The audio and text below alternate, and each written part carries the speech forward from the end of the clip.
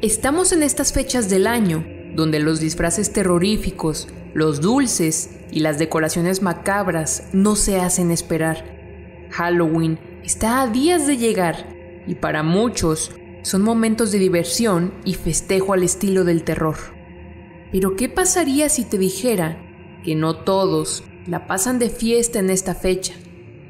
Toma asiento, apaga la luz y prepárate para escuchar la leyenda de Naika, la capital mundial de las brujas.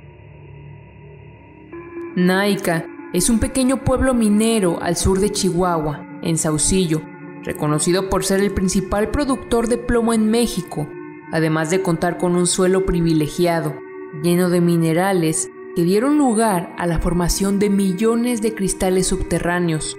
De allí nace la Cueva de los Cristales o Cueva de las Espadas, una gruta que ubicada a 300 metros de profundidad es sin duda una de las atracciones turísticas más importantes del lugar.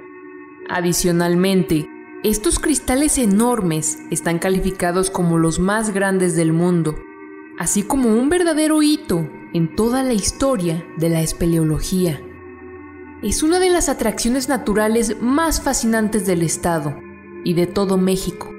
Sin embargo, a la par de este encanto, Naika tiene otro atractivo de tipo más siniestro. La cueva de los cristales no es la única en la zona, de hecho, al ser un pueblo minero, el lugar cuenta con decenas de minas subterráneas, en las cuales se dice que habitan las temibles brujas de Naika, quienes han dado origen a leyendas que han recorrido el mundo entero y le han dado fama a Naika como la capital mundial de las brujas. Algunos relatos locales aseguran que pasadas las 10.30 de la noche es mejor resguardarse en su hogar, de quedarse afuera, el visitante puede toparse con unas bolas de fuego que emergen de diversas minas que existen en Naika. Algunos lugareños afirman que se trata de brujas, las cuales tienen especial interés en capturar niñas y adolescentes con el fin de reclutarlas para su aquelarre, es decir, convertirlas en una de ellas. Se dice que hace muchos años, una joven de 16 años que trabajaba en una panadería de la localidad fue a pasear a un lago cercano en la noche para admirar el reflejo de la luna. No obstante, se le hizo tarde y ya no alcanzó a regresar a su casa antes de que sonaran las campanas de la iglesia del pueblo, las cuales anunciaban el inicio de la hora de las brujas. Cuando la joven no regresó a su casa, todo el pueblo emprendió su búsqueda por meses. Sin embargo, nunca apareció. Cuenta la leyenda que fue hasta muchos años después que la vieron junto al lago, pero ya no tenía forma humana. Estaba deformada del rostro y con un aspecto macabro.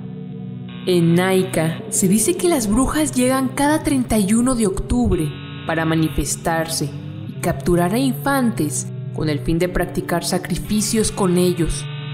A partir de las 10.30 de la noche, la gente comienza a resguardarse en sus hogares a causa de la aparición de supuestos fuegos fatuos, cuyo fenómeno se adjudica a las brujas. El nombramiento de la capital mundial de las brujas no es en vano. De hecho, en algunas cuevas se pueden apreciar letreros que dicen Cueva de Brujas, como es el caso de la cueva Maple, donde se advierte a sus visitantes de la presencia de estas, tanto en su interior como a sus alrededores. Se dice que esta creencia se desprende del supuesto hallazgo que residentes del seccional hicieron en cavernas que habrían servido para rendir culto a las fuerzas oscuras, donde según afirman, fueron encontrados diferentes artefactos y material de rituales de magia. Regresando a la cueva de las espadas, de la que te hablaba al principio, se piensa que este es un lugar sumamente energético, al conservar estos inmensos cristales hechos de selenita, una variedad del mineral del yeso, pero en una presentación rocosa y cristalina. Al ser los cristales encontrados más grandes de lo que se ha tenido registro, emiten una energía sin precedentes. Por ello, se cree que no es descabellada la idea de que aquí habitan seres mágicos. ¿Tú qué piensas? ¿Te atreverías a ir a Naika para estas fechas de terror? Déjamelo saber en la caja de comentarios.